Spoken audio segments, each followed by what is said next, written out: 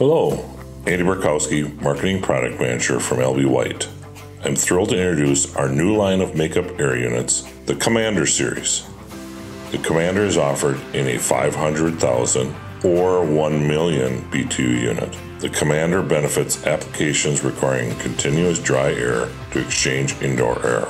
The result is a healthy working environment yielding the ability for proper curing for materials like paint, adhesives, or concrete. This is accomplished with our proven airflow of continuous air volume that is tempered to maintain the desired temperature. The 500 delivers a solid 3000 CFM through a 16 inch outlet, while the 1 million delivers 6000 CFM via a 24 inch outlet.